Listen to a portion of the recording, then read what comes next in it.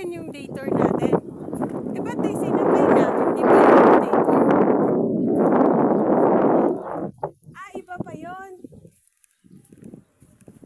Every hour naman, 1.30 to 30, 3.30, 5.30, 4.30 lang.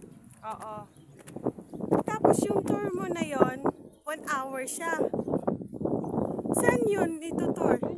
Sa mga dyan naman. Tapos yun, Explain nila yung saan galing yung mga ibababa ka din. Makakapag-picture-picture. Ayun o, maluwang pa yan gagawin. Tapos yan yung sinasabi nilang pwede ka mag-swimming. Oo, yan. Ah. Hello, sleeping angel. Ang cute. Kaninong ulo yung mga yan?